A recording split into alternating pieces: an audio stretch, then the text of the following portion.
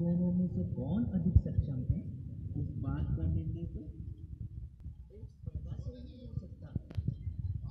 ही हो आप दोनों ही पूरे विश्व के तीन चक्कर लगा कर आए जो पहले वापस आकर अपने माता पिता को प्रणाम करेगा वही विजयी घोषित किया जाएगा।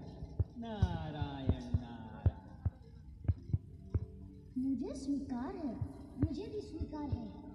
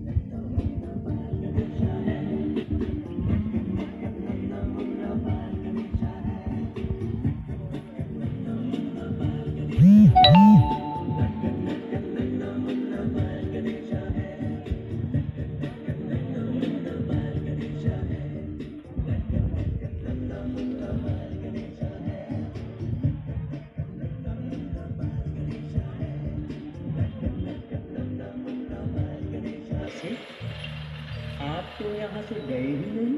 आप तो सब जानते हैं मुनिवर। मेरे माता पिता में पूरा विश्व समाया हुआ है। उनका चक्कर लगा लिया तो हो गया पूरा विश्व का चक्कर।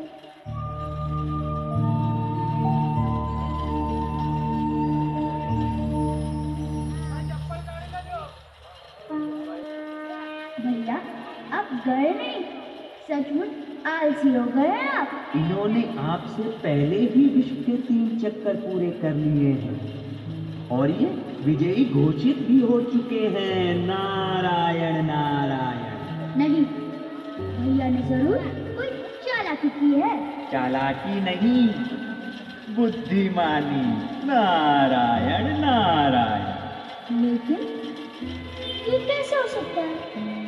एक छोटी सी युक्ति से परंतु आज मुझे विश्वास हो गया है कि मेरा छोटा भाई भी कुछ कम नहीं।